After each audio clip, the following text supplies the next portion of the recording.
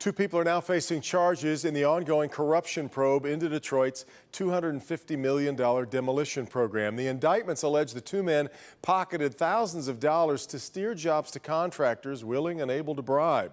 We go to Mara McDonald live downtown tonight. Mara, both those men expected in federal court tomorrow.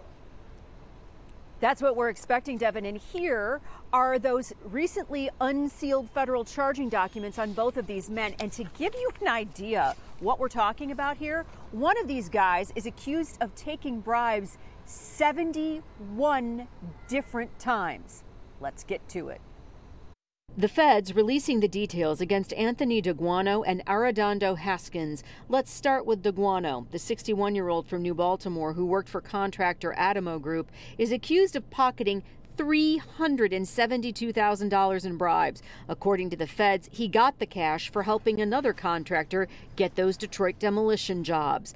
Up next, Arredondo Haskins, who also worked for Adamo until he left to work for the City of Detroit's Building Authority. He's accused of providing confidential information to other contractors to help them undercut their competitors. The feds say Haskins got more than $25,000 in bribes.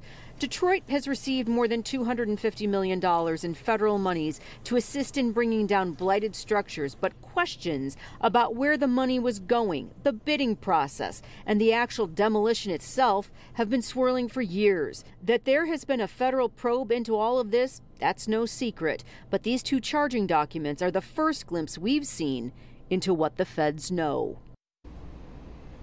Back here live, we are expecting both of these men in federal court tomorrow, and it's going to be very interesting to see whether we've got a plea deal coming, which is what I think the expectation is. Devin, Sandra, we're live downtown tonight. Back to you. Well, Mark, we got any indication, though, is whether this might be it as far as charges go? I think the indication is that this is just the beginning. Yeah. I think it would be shocking if, after all these years that the feds have been looking at it, that this is it.